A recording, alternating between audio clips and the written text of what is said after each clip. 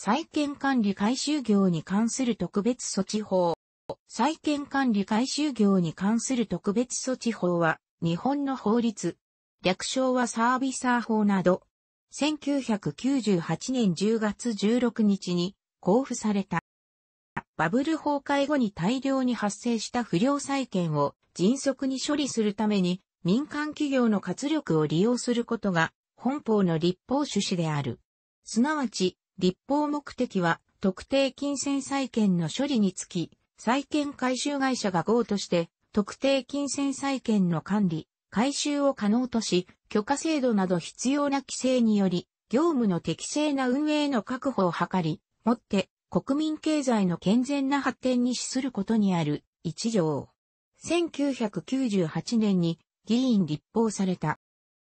弁護士法では、弁護士または弁護士法人以外の者が、合として委託を受けまたは譲り受けて、債権の回収を行うことを禁じている、弁護士、法72条、73条。しかし、不良債権の効率的な処理のためには、債権回収の担い手が弁護士のみでは不足であることから、弁護士法の特例として民間業者に債権回収業を解禁するとともに、暴力団等の介入を排除するために、これを許可制とするとともに、様々な行為規制を置いたものである。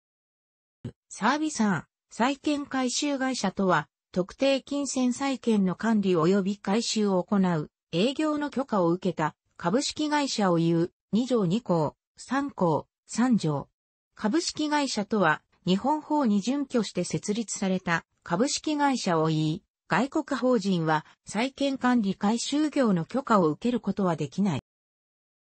不良債権の処理を迅速に進めるという立法趣旨からサービサーが取り扱うことができるとされている債権、特定金銭債権は一定の範囲に限定されている。具体的には以下の通りである。二条一項覚悟。特定金銭債権に当たらないものとして一般的な売掛代金債権や請負い代金債権などが挙げられる。これらは流動化対象資産2条1項8号、12号になっていたり、ファクタリング業者が買い取ったものであったり、2条1項15号、倒産手続き中のものが保有している場合、2条1項16号に当たらない限り、特定金銭債権にはならない。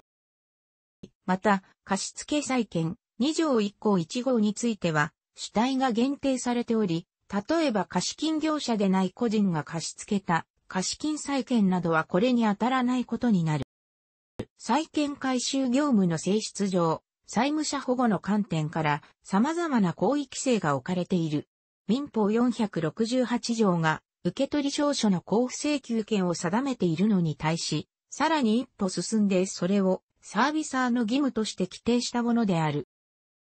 受取証書の記載事項については、規則9条に詳細な規定が置かれている。民法467条が債権証書の返還請求権を定めているのに対し、これをサービサーの義務として規定したものである。サービサーの業務従事者は、その業務を行うにあたり、人を威迫しまたはその私生活もしくは、業務の平穏を害するような言動により相手を困惑させてはならない。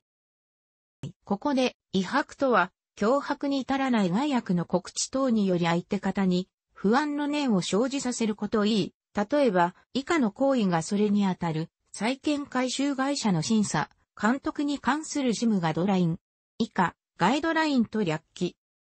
私生活もしくは、業務の平穏を害する言動とは、社会通念上私生活や、業務の平穏を害するに足りる言動をなすことを言う。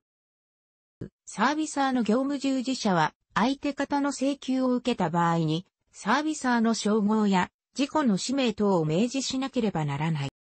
サービサーの業務従事者は、一定の事項を記載した身分証を携帯しなければならない。サービサーは、暴力団員等を業務に従事させ、または、業務の補助者として使用することが禁止されている。サービサーは、その業務に関して、広告をするときは、一定の事項に関して、著しく事実に相違する表示をし、または著しく人を誤認させるような表示をしてはならない。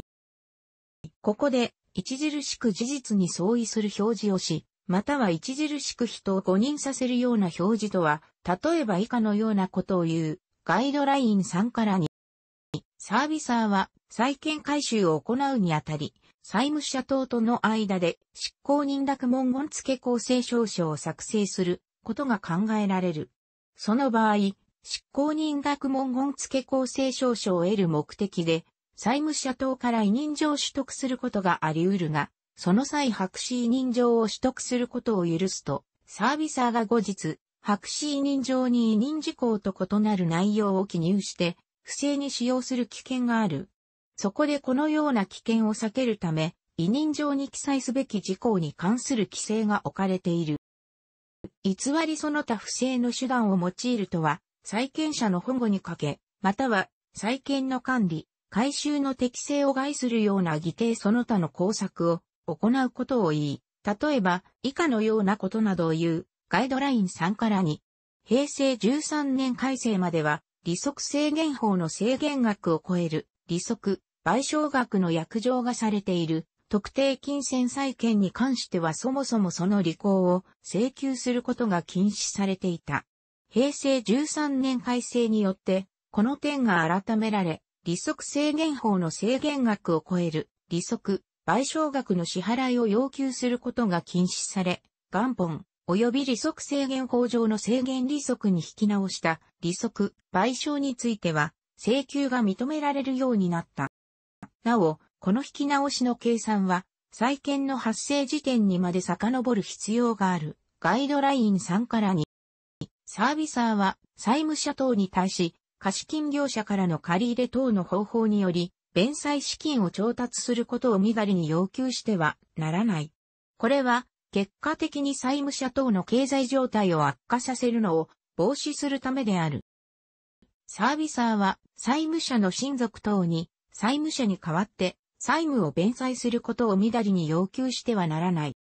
サービサーは債務者等が債務の処理を弁護士等に委託し、その旨の通知があった場合には、債務者に対して弁済要求することが禁止される。サービサーは委託者のために収受した弁済金とサービサーの財産とを明確に区別して保管しなければならない。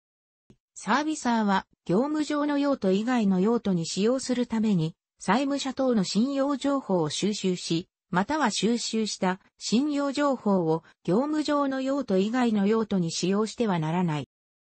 サービサーはその営業所ごとに法定の様式により作成した標識を公衆の見やすい場所に掲示しなければならない。公衆の見やすい場所とは営業所の内であるか外であるかは問題とせず、債権回収会社の営業所を訪れた一般人が容易に視認できるような場所に掲示がされていることを言う。ガイライン3から2。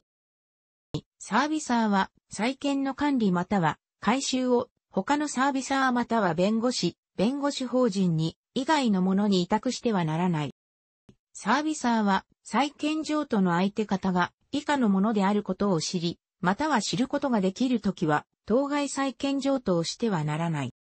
取り立て手数料や譲り受け代金の非帯に関する規制は置かれていない。これは、債権の譲渡人、現債権者は、専門知識を有する金融機関等であることが通常だからである。債権回収会社は、その業務に関する以下の帳簿書類を作成、保存しなければならない20条、規則15条1項。楽しくご覧になりましたら、購読と良いです。クリックしてください。